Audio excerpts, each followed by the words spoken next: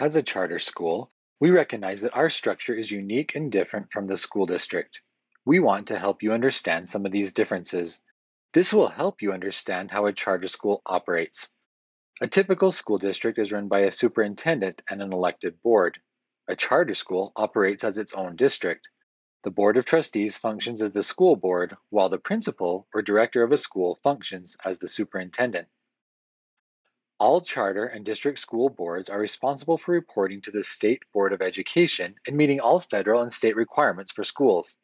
As a charter school, we are a public school and are required to meet the same standards for the hiring of teachers, testing of students, and completion of reports and grants.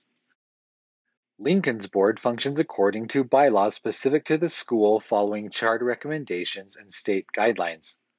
Lincoln Academy's board works directly with the school administration to create, modify, and implement the mission and vision of the school. They also work together to ensure the school is compliant with the financial and academic requirements. The board is always comprised of seven volunteer parents of current Lincoln Academy students. There is a board president who oversees human resources and board compliance. The additional members support the school in faculty and staff outreach, musical experiences, finance, fundraising, facilities, and IT.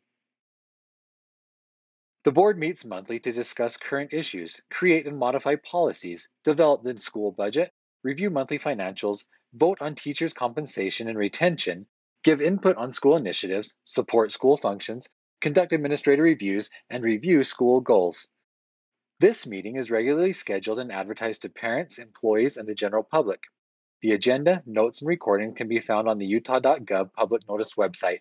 Parents are invited to attend and can submit a form to be able to provide public comment at the meeting. The Board of Trustees works hand in hand with the Parent Council, which is a separate body that helps support positive school initiatives and organize the army of volunteer parents. These seven individuals serving as board members are committed to working with all entities of the school to ensure that Lincoln Academy remains a high quality educational institution for years to come.